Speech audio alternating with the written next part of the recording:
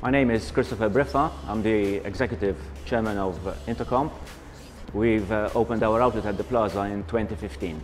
The brand started way back in 1980, but in terms of the retail sector, we decided to, to fill in what we felt was a, a missing presence in the, in the retail sector in about eight or seven years ago.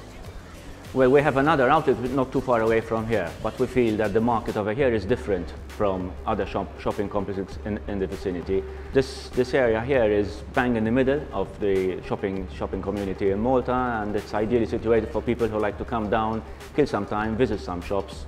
So yes, we felt it was important to have a presence in the plaza.